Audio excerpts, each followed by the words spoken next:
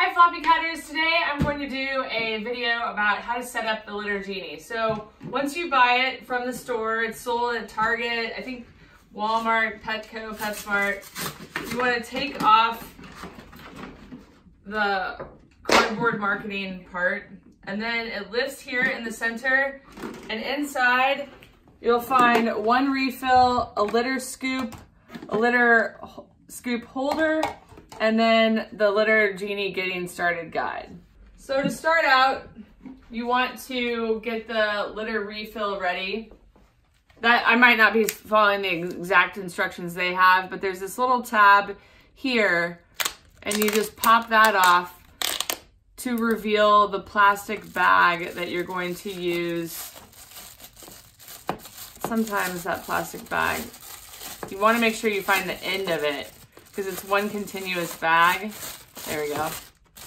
So you leave that there, open up the top here, and then you have to pull up this part because the refill is gonna drop in here like that. But before you drop it in there, you pull it out enough so that you can make a knot. Somebody told me that they like to use a zip tie at the bottom of it, like a cable tie, um, to not use as much of, of the bag that you would tying a knot. But this knot is what's going to keep all of the feces and whatnot in the unit itself.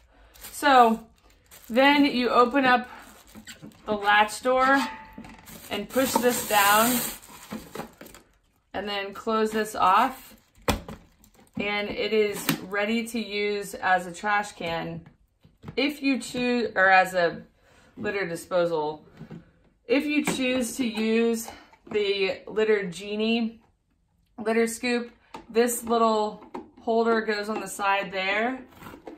It goes on whichever side actually, you can use it on that side too. And so then when this is closed, then you can fit the litter scoop right on the side there. And it's all set up and ready to go.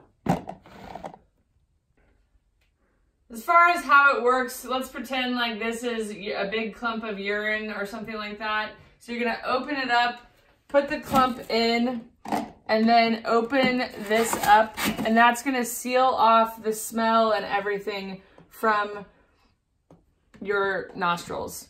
Then you're gonna close that up, and once it's full, once you know you've filled it up, then you just pop this open. You take this, and there's a little thing that cuts off the bag here.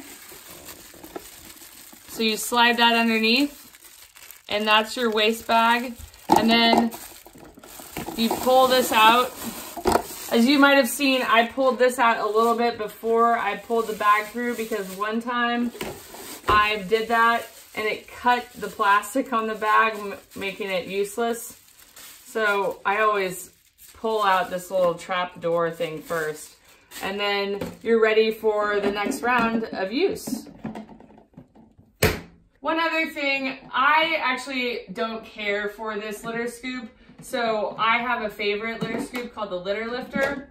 And a reader suggested that I just buy a command, like a 3M command hook, put it on here, and then I can hang on my litter lifter on the side of it, and that works out really well for us.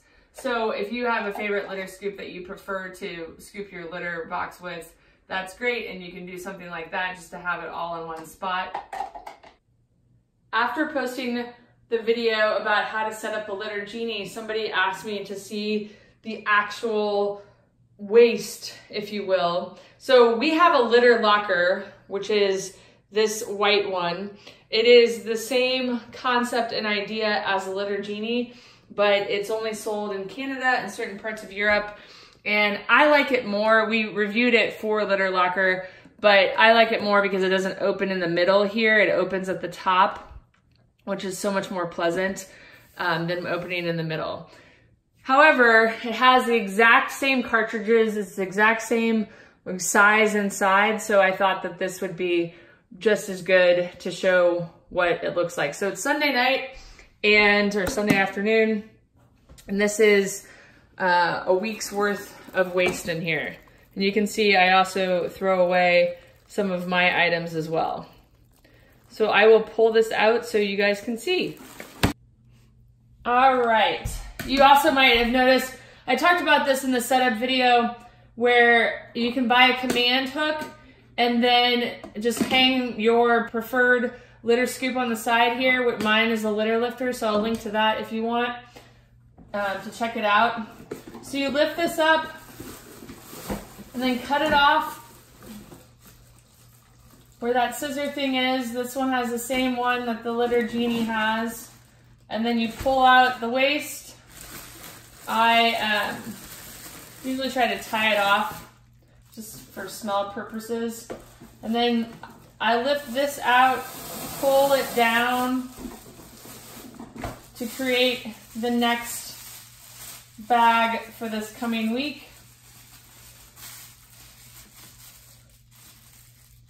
I always pull out the guillotine a little bit so that it doesn't tear the bag. And then we're basically ready to go for next week. I always double check it and that's that. Thank you so much for watching. If you have any questions, please don't hesitate to ask and we'll see you next time. Bye for now.